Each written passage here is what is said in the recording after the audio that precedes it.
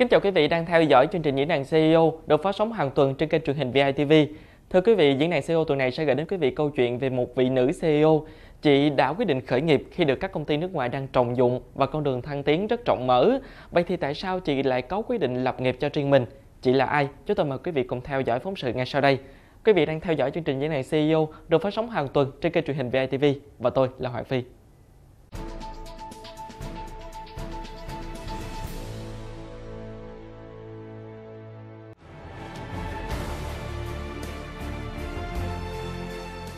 Chị là Nguyễn Thanh Hà, người sáng lập và điều hành công ty cổ phần Coco Việt Nam. Coco cung cấp những sản phẩm làm đẹp có nguồn gốc từ thực vật. Theo chia sẻ của chị Nguyễn Thanh Hà, chị bén duyên với ngành làm đẹp và gắn bó với ngành đã hơn 10 năm. Tuy nhiên, thời gian đó chị làm cho những tập đoàn đa quốc gia và chị chưa bao giờ tự đứng ra thành lập công ty cho riêng mình. Khoảng thời gian hơn 10 năm làm trong ngành, ở những vị trí khác nhau, chị đã tích lũy cho mình những kinh nghiệm và kiến thức về ngành làm đẹp. Chính những kiến thức này đã hình thành trong chị một trăn trở. Tại sao ở Việt Nam có những loại thực vật có thể chiết xuất phục vụ cho ngành làm đẹp mà không được tận dụng? Điển hình trong đó là trái dừa. Người ta chỉ sử dụng cơm dừa để chế biến thành kẹo, thành bánh, còn nước dừa thì lại bỏ đi. Trong khi đó, nước dừa có rất nhiều dưỡng chất có lợi cho làn da và sức khỏe mà chưa ai phát huy triệt để. Và từ đây, chị Thanh Hà đã nhen nhóm ý tưởng tạo ra những dòng sản phẩm làm đẹp để nâng cao giá trị của một trong những nguyên liệu phổ biến ở Việt Nam. Thế là chị đã từ bỏ công việc và bắt đầu hành trình mới, một hành trình thực hiện đam mê. Để hiểu rõ hơn về quyết định này của chị, chúng tôi mời quý vị theo dõi chia sẻ của chính nhân vật trong chương trình hôm nay.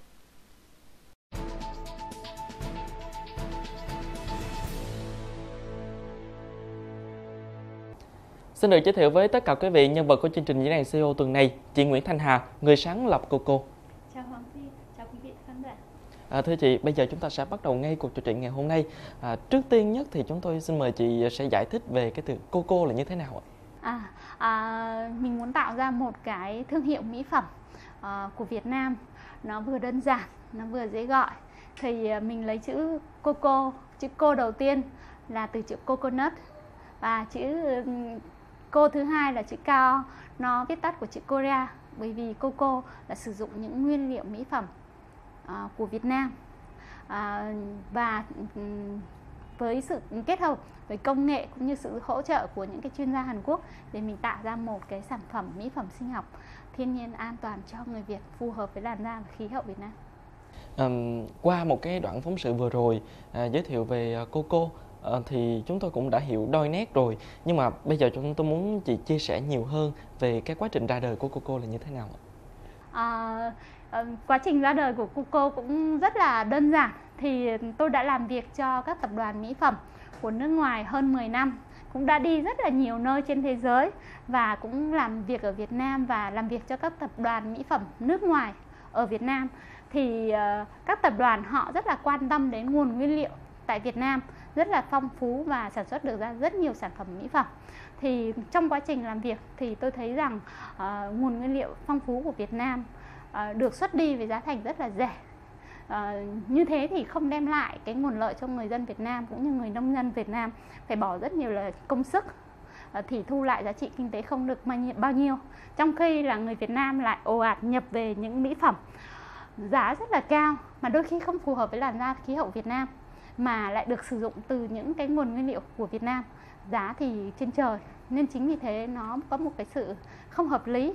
Vì thế tôi mong muốn có thể góp một sức lực nhỏ bé của mình để tạo ra những cái sản phẩm mỹ phẩm thuần Việt uh, sử dụng nguyên liệu Việt Nam nhưng có chất lượng tốt. Um, chị vừa chia sẻ là um, chị có làm việc cho rất nhiều cái tập đoàn mỹ phẩm của nước ngoài à, vậy thì à, khi mà chị quyết định khởi nghiệp như thế này mà lại khởi nghiệp về mỹ phẩm nữa thì chị có trăn trở hay không và trăn trở về điều gì? À, tất nhiên là khi mà tôi quyết định khởi nghiệp thì tôi cũng có rất nhiều là băn khoăn và lo lắng. À, bởi vì tôi đã từng làm việc ở tập đoàn nước ngoài và tôi biết rằng để mà mình bỏ đi bao nhiêu năm công sức đóng góp cũng như là rời bỏ cái vị trí hiện tại thì nếu như mà mình thất bại có thể mình sẽ không bao giờ có thể quay trở lại được nữa. À, còn ờ, cái khả năng thành công thì cũng không có cao bởi vì là cái ngành mỹ phẩm là một ngành cạnh tranh rất là lớn cần rất là nhiều cái nguồn lực để có thể đạt được thành công. Nhưng mà với niềm đam mê và với sự quyết tâm thì tôi tin rằng tôi sẽ đi đến đích cuối cùng. Lúc đó là chị chỉ ờ, bằng niềm đam mê của mình quyết tâm của mình thôi. Còn cái chuyện thành công hay không thì chị có dự định trước hay chưa? Uh, quyết tâm hết sức cố gắng hết sức nhưng mà không ai dám chắc 100% là sẽ thành công. Như thế là mình chỉ dự định là mình sẽ thành công hay không thôi. À, và à, trong cái lúc mà quyết định chị khởi nghiệp như thế thì chị có chia sẻ với cái ý định này với người thân của mình hay không ạ? À, vì tôi đã sống với người thân hơn ba chục năm à, và tôi rất là hiểu những người thân của mình. Và đó là một cái quyết định mà tôi phải rời bỏ cũng như là từ bỏ tất cả những thành tích mà mọi người coi rằng rất là phải có rất nhiều tâm huyết để đạt được thì ờ, điều đó rất là khó và tôi nghĩ rằng tôi không thể thuyết phục được người thân của mình ờ, bạn bè của mình. Nên tôi quyết định là không nói với ai cả bởi vì tôi chắc chắn sẽ không ai hiểu. Vậy lúc đó chị làm âm thầm và nếu không nói với người thân như thế thì uh, lỡ đâu một ngày nào đó chị cần sự ủng hộ của họ thì như thế nào? À, thực sự là tôi sẽ cần sự ủng hộ của người thân về cái mặt tinh thần hơn. Và tôi biết chắc chắn rằng mọi người sẽ phản đối nên là tôi sẽ uh, chờ đến khi mà người ta không thể phản đối bởi vì mọi chuyện nó đã bắt đầu rồi không thể dừng lại được nữa thì uh, sẽ ít phản đối hơn. Nếu như vậy thì chị có nghĩa là chị liều khi mà khởi nghiệp hay không? À, tất nhiên là phải có liều rồi. Không liều thì không thể khởi nghiệp được. Và à, khi mà có cái quyết định từ cái thời gian mà chị nghĩ chị sẽ khởi nghiệp đến khi chị chính thức lại quyết định mình khởi nghiệp thì ờ, nó mất nhiều thời gian của chị hay không và nó diễn ra như thế nào ạ? À, tôi đã suy nghĩ trong vòng khoảng một tuần lễ và sau đó tôi sẽ tôi tiến hành ngay. Đó là tính cách và con người của tôi rồi. Nó rất là cá nhân thôi tôi quyết định là tôi sẽ làm và tôi tôi làm những người bạn những người thân của chị thì có người ta có gọi chị là quyết một quyết định mà hấp tấp quá. À, thực ra thì uh, suy nghĩ nhanh đó là tính cách và con người rồi. Nhưng nhanh ở đây không có nghĩa là hấp tấp bởi vì là tôi đã suy nghĩ khi tôi làm việc cho các tập đoàn nước ngoài. Nhưng khi tôi quyết định khởi nghiệp thì tôi chỉ là thực hiện những điều mình đã chăn trở đã suy nghĩ rất là lâu trước đó chứ không phải là trong một tuần mà mình uh, quyết định đổi thay đổi con đường là mình làm ngay. Mình đã suy nghĩ và khi thời cơ đến cơ hội đến. Và uh, thấy mình đã có đủ kiến thức đủ kinh nghiệm và có uh, đủ uh, một chút tiền để có thể chuẩn bị cho cái uh, doanh nghiệp nho nhỏ của mình thì mình thực hiện thôi. Dạ.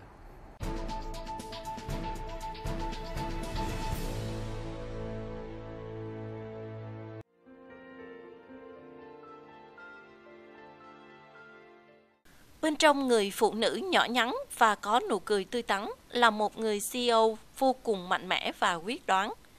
Với chị, làm những điều không giống ai luôn cho chị có thêm nghị lực và sức mạnh.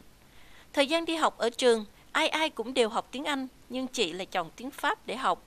Khi đi làm, theo bằng cấp thì chị phải đi dạy, nhưng chị lại chọn đi làm cho các tập đoàn nước ngoài nhờ vào vốn ngoại ngữ của bản thân. Ở mỗi vị trí được phân công, dù chưa được đào tạo chuyên môn, nhưng chị vẫn đáp ứng được yêu cầu của công việc được giao. Có lẽ những thách thức khi mà làm cho các tập đoàn lớn so với những thách thức mà cô cô đang gặp phải hàng ngày thì có nhiều điểm khác biệt. Mặc dù chị đã tích lũy được kinh nghiệm, nhưng việc điều hành một công ty đòi hỏi nhiều kỹ năng hơn và áp lực sẽ lớn hơn. Nhưng với chị, đây là quyết định của mình và là đam mê thật sự, nên chị có đủ sức mạnh và niềm tin để chinh phục thử thách. Dù cô cô mới đi vào hoạt động hơn 2 năm, nhưng không ít lần chị phải đối mặt với sóng gió và đứng trước lựa chọn nên tiếp tục hay dừng lại. Tuy nhiên với chị, khi đã đi là phải đi cho tới và phải làm hết sức để hoàn thành mục tiêu, thậm chí chấp nhận đập đi tất cả để làm lại. Với những nỗ lực không mệt mỏi, đến nay những sản phẩm của Coco đã được thị trường đón nhận không những thế, ngay cả những thị trường khó tính như Singapore, Anh, Mỹ thì sản phẩm của Coco cũng có mặt và dần khẳng định được uy tín. Giờ đây, chị Hà đang tập trung vào những dự án mới để làm phong phú hơn cho sản phẩm của mình, đáp ứng tốt hơn nhu cầu đa dạng của khách hàng trong và ngoài nước.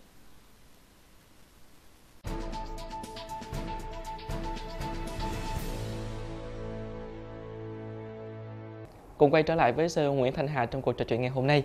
À, thưa chị, với vai trò là một người điều hành doanh nghiệp thì chắc chắn mình phải đối mặt với rất nhiều áp lực. Vậy với chị thì điều đó như thế nào?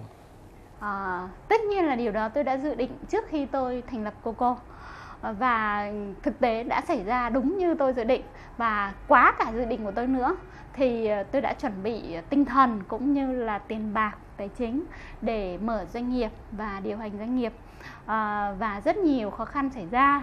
À, hàng đã sản xuất ra à, không bán được. À, phải đi cho tặng người ta. Và à, công ty thì không có nguồn tiền quay trở lại. À, chi phí cho marketing và hoạt động quảng bá thương hiệu cũng không được kiểm soát tốt. Chính vì thế là điều một điều đau đớn nhất đã xảy ra là sau một năm hoạt động à, tôi đã phải uh, quyết định là cho toàn bộ số nhân viên sale của mình nghỉ việc bao gồm 26 bạn. À, thực sự đó là một cái quyết định rất là đau lòng. À, nhưng mà tại thời điểm đó thì vì cái doanh nghiệp chưa đủ nguồn thu à, nên là không có đủ sức để tiếp tục nuôi cái bộ máy đó nên là tôi đã quyết định thay đổi và chuyển hướng đi. Và tôi đã phải cho 26 nhân viên của mình nghỉ việc đó là một cái chuyện khó khăn. Như vậy thì cái hướng đi mới của chị là như thế nào à, hướng đi mới thì à, bởi vì là nguồn lực có hạn nên là tôi sẽ phải à, tìm những đối tác là những nhà phân phối tại Việt Nam cũng như nước ngoài có tiềm lực tài chính và họ uh, mong muốn phát triển cái sản phẩm mang thương hiệu Việt uh, cùng giúp đỡ những người nông dân nâng cao thu nhập À, phát triển ừ, thị trường Việt Nam và thị trường xuất khẩu và họ có tiềm lực tài chính và cũng như là có kinh nghiệm thị trường thì trực tiếp tôi làm việc với tất cả những đối tác đó để mà duy trì cái uh, Coco. À, thưa chị, vừa rồi thì chị có chia sẻ một cái khó khăn ừ, gọi là lớn nhất của chị khi mà à, bắt đầu với Coco. Ừ, vậy thì trong suốt cái quá trình mà Coco hoạt động à, còn một cái khó khăn nào đó khác nữa hay không? Chị có thể chia sẻ cụ thể với chúng tôi. À, khó khăn thì rất là nhiều. À, ví dụ như là à, khi mà tôi mở ra Coco Việt Nam thì tôi cũng tìm được một số đối tác à, thực sự là gọi là những nhà đầu tư. À, thì là trong quá trình làm việc thì à, những nhà đầu tư họ mong muốn kiếm tiền nhanh. À, nó không phù hợp với mục tiêu của Coco nên là tôi đã quyết định phải ngưng cái việc hợp tác đối ừ, với họ thì đó cũng là một trong những khó khăn. Và để mà tìm lại được cái nhà đầu tư mới bởi vì thực sự là một doanh nghiệp non trẻ và sau một năm hoạt động thì đã sử dụng hết cái số vốn uh, mình bỏ ra thì cần phải có những nhà đầu tư uh, cùng góp sức vào. Uh, thì tôi đã tìm được một hai nhà đầu tư của nước ngoài nhưng mà sau một thời gian thì họ cũng không có thể chờ đợi và tiếp tục đi lâu dài thì tôi lại phải làm lại từ đầu và tìm những nhà đầu tư mới người Việt và họ có cái hướng đi lâu dài với mình hơn. Thì uh, qua quá trình tìm hiểu và giới thiệu dự án cũng như giới thiệu sản phẩm thì tôi đã tìm được một nhà đầu tư từ quỹ Mekong Capital. Uh, họ rất là thích dự án và họ uh, mong muốn cái dự án của tôi phát triển để góp phần giúp đỡ cho những người nông dân rất là uh, rất là chăm chỉ nhưng mà họ chưa có cái thu nhập xứng đáng với công sức họ bỏ ra. Thì mình phát triển cái sản phẩm này để cùng nhau giúp đỡ những người nông dân. Ừ, thưa chị nói về à, quá trình à, làm CEO quá trình à, lập nghiệp của mình thì phải nói là trải qua rất là nhiều cái quyết định. Vậy thì với chị cái quyết định nào là khó nhất ạ? À, quyết định khó nhất như tôi đã nói là quyết định phải cho 26 nhân viên của mình nghỉ việc. À, bởi vì khi mà tôi cho 26 nhân viên của mình nghỉ việc có nghĩa rằng mình đã làm ảnh hưởng tới cuộc sống bình thường của 26 gia đình. Họ có vợ có chồng có con có cái và tôi cũng là một người mẹ và tôi thấy điều đó rất là đau đớn. Nhưng uh, nếu tôi không làm chuyện đó thì có thể tôi không giữ được cô cô Việt Nam và nó sẽ ảnh hưởng đến hàng ngàn người nông dân khác. Thì ờ, tôi cố gắng tìm nhà đầu tư cũng như là cố gắng duy trì cái doanh nghiệp của mình vượt qua giai đoạn khó khăn. À, vì thế tôi phải ra một cái quyết định rất là khó khăn. Khi mà tôi đã hết nguồn lực tài chính thì duy trì đội ngũ nhân viên sale 26 người. À, bởi vì sản phẩm làm ra lúc đấy thì bán không được nhiều và người ta chưa biết người ta chưa tin tưởng mỹ phẩm Việt người ta không tin rằng một doanh nghiệp Việt Nam có thể sản xuất ra cái dòng mỹ phẩm um, tốt nên họ không có tin. Vì thế là cái cái cái um, doanh thu nó thấp hơn cái chi phí dành cho đội nhân viên sale. Vì thế là tôi không thể tiếp tục trả lương. Vì um, để duy trì một đội sale 26 người thì tôi phải dùng tiền cá nhân à, để trả lương cho họ suốt một năm nhưng mà kết quả đem lại không có ờ, không có như mong đợi. Nên là ừ, cái việc mà trả lương cho nhân viên nó không thể duy trì được nữa. Mà nếu như tiếp tục duy trì thì có thể tôi sẽ không giữ được doanh nghiệp. Và để ra cái quyết định đó thì tôi cũng đã phải ờ, đắn đo suy nghĩ và ừ, trao đổi rất là kỹ với ờ, các cái team leader trong cái đội sale để họ có một cái sự chuẩn bị cho chính gia đình họ cũng như là cho những người nhân viên của họ và cho họ thời gian là một tháng để họ tìm một công việc mới. À, và đó là một cái quyết định rất là khó. À, nhưng mà tôi đã cố gắng là à, hỗ trợ cho nhân viên một tháng lương à, để họ tìm cái công việc mới và giải thích cho họ là cái cái lý do công ty không thể tiếp tục duy trì uh, cái việc mà trả lương cho các bạn để cho các bạn ấy ổn định công việc uh, để các bạn có thời gian đi tìm việc mới. Uh, cũng may cũng rất là mừng là uh, một trong số một số những bạn trong những cái nhân viên sale đó thì hiện giờ đã quay trở lại cô cô làm việc. Và các bạn không giận công ty biểu hiện của những bạn nhân viên sale đó ở thời điểm đó với ngược lại với chị thì như thế nào? À, thực sự là các bạn ấy rất là mong muốn cùng làm việc với cô cô cùng cố gắng gắn bó với công ty. À, nhưng mà mỗi người đều có hoàn cảnh cá nhân của họ và công ty không thể ờ, không thể nợ lương họ. À, họ cũng không thể đi làm mà không nhận lương. Vì vì có những người họ cũng chia sẻ là thôi bây giờ họ xin là nhận 50% lương để um, họ tiếp tục gắn bó cùng với cô cô. À, nhưng mà điều đó không không có ổn.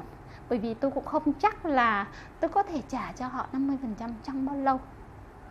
À, tôi không chắc thì vì thế tôi không thể quyết định giữ lại bất cứ nhân viên nào và à, công việc của đội nhân viên sale thì tôi tự làm. Chị tự làm công việc đó trong bao lâu à, tự làm công việc đó trong cũng à, cho tới thời điểm tháng 1 năm 2018 thì tôi có một đội xe mới. À, trong số 26 nhân viên đó thì à, có một người cũng làm cho tôi rất là khó để ra quyết định. À, bởi vì à, bạn ấy cũng giống như tôi là một người mẹ đơn thân. À, và à, bạn ấy không chắc rằng trong một tháng bạn có thể tìm được một công việc khác. Thì à, rất là khó. À, nhưng mà tôi cuối cùng tôi cũng vẫn phải ra quyết định. Và um, mong rằng các bạn thông cảm và khi mà công ty có sự phục hồi có được doanh thu trở lại thì công ty sẽ nhận các bạn quay trở lại. Thì sau đó có 6 bạn 7 bạn quay trở lại công ty làm việc. Và hiện giờ các bạn vẫn đang gắn bó với công ty. À, vậy thì với ờ, quá nhiều khó khăn như thế trên con đường lập nghiệp thì có bao giờ chị đã quyết định mình sẽ buông bỏ mình không làm nữa hay không? À, tôi chưa bao giờ có ý nghĩ là buông bỏ bởi vì tôi biết chắc là con đường lập nghiệp là khó khăn. À, khó khăn hơn việc đi làm thuê rất là nhiều. Cái việc mà khi mà mình lập nghiệp là mình thực hiện cái niềm mơ ước niềm đam mê của mình. Nếu như mà mình thất bại mình cũng mất một ít tiền thôi. Tiền đó thì cũng mình đi làm ra mà. À, cũng không quá là quan trọng mình còn sức khỏe mình có kiến thức là mình sẽ kiếm lại được. Nhưng nếu mình không thực hiện cái cái cái niềm đam mê của mình, thì có thể rất nhiều người nông dân cũng như rất nhiều nhân viên của mình không bao giờ có những cái cơ hội, những cái trải nghiệm và cái cơ hội để làm cho cuộc sống của họ và gia đình họ tốt đẹp hơn. Chị lấy cái tiềm lực tài chính như thế nào để có thể duy trì cô cô trong những cái giai đoạn đó? Cũng như là uh, khi phát sinh một vấn đề thì cái cách giải quyết của chị ra làm sao? À, tôi đã chuẩn bị uh, tài chính uh, tích góp uh, dùng toàn bộ số tiền mà mình đi làm hơn mười mấy năm cho các tập đoàn để thành lập Coco Việt Nam. À, nhưng cái việc mà quản lý tài chính nó hơi không phải là chuyên môn chính của tôi. À, và các cái hoạt động marketing nó không hiệu quả. Nên chính vì thế tôi chỉ duy trì được công ty một năm với cái số tiền mình bỏ ra. Thì sau một năm công ty vẫn chưa thể tự mình hoạt động được. Thì tôi tìm đến những cái uh, nhà đầu tư uh, những người mà họ có niềm tin vào sản phẩm Việt Nam cũng như là họ có cùng một cái niềm mong ước là sẽ tạo ra được những công ăn việc làm uh, thu nhập cho người nông dân những người lao động chân chính vì thế tôi đã tìm được một số nhà đầu tư. À, khi mà à, khi mà tôi um, à, đã xài hết tiền rồi thì là à, tôi phải ừ, không còn ừ, không còn cái ờ, khả năng để duy trì đội ngũ. Ờ, đương nhiên mình vẫn phải giữ lại một số cái nhân viên ví dụ như là những người nhân viên văn phòng những người kế toán này là để duy trì. Thì tôi quyết định là à, đi làm việc trở lại ở trong các cái tập đoàn. À, và à, với cái số tiền lương nhận được thì có thể duy trì cái đội ngũ nhân viên tối thiểu cho công ty. Thì à, à, cũng rất là nhanh chóng thôi tôi tìm được một công việc bởi vì mối quan hệ cũng có rất là nhiều. Vì thế là ừ, đi làm trở lại khoảng 6 tháng để à, duy trì cái thu nhập cũng như là cái cái công ty của cô Việt Nam. À, không có bị bị ờ, bị chết đi. Vì lúc đó nhà đầu tư họ cần mình có cái chỗ đứng trên thị trường à, sản phẩm ổn định về mặt chất lượng à, thì lúc đấy họ mới vào vốn. Còn ừ, trước đó thì mặc dù họ biết sản phẩm tiềm năng nhưng mà mình chưa có chiếm lĩnh được thị trường mà để mà phát triển kênh phân phối chiếm lĩnh thị trường uh, cũng như xây dựng thương hiệu thì đó là một cái quá trình cần rất là nhiều tiền. Ừ, ở cái thời điểm mà chị phải quay lại đi làm công cảm giác của chị như thế nào? À, điều đó tôi dự định trước khi mà tôi thành lập cô Việt Nam. Điều đó cũng rất là bình thường mà. Thì trước đây mình đi làm công rồi giờ mình đi làm công nữa.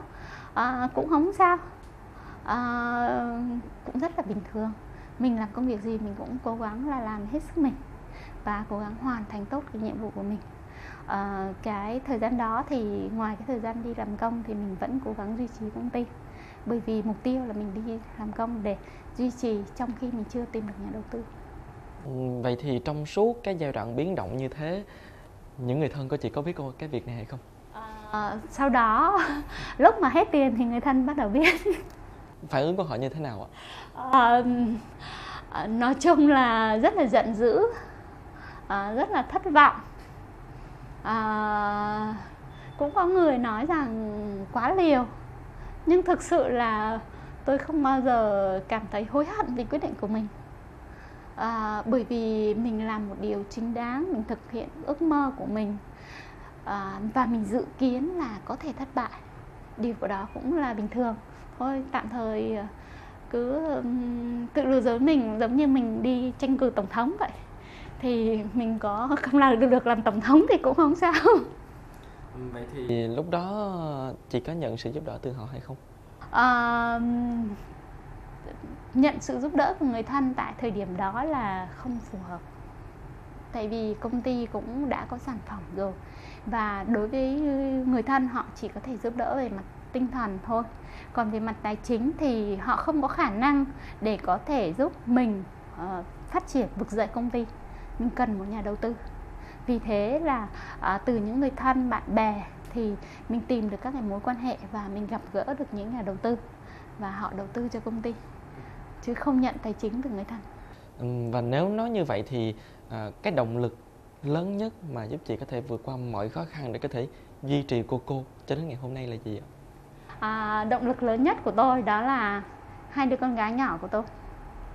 À, mỗi khi mà uh, tôi có bất cứ một khó khăn nào thì về nhà thấy con uh, tươi cười ôm mẹ vào lòng uh, rất là ngây thơ. Tự dưng mình quên hết mệt mỏi và mình tin rằng mình sẽ làm được mọi điều. À, bởi vì tôi luôn lo sợ một điều rằng nếu mình không cố gắng hết sức thì con mình nó sẽ nó sẽ nhận ra được điều đó trẻ con nó rất là nhạy cảm à, và nếu như mà mình từ bỏ một cách quá dễ dàng thì đó sẽ là một cái tấm gương rất rất rất xấu cho con mình. À, và sẽ rất là khó để nói là con hãy làm việc tốt. Mà trong khi mình không làm được việc tốt mình không cố gắng hết sức thì mình không thể nói con mình phải làm việc hết sức.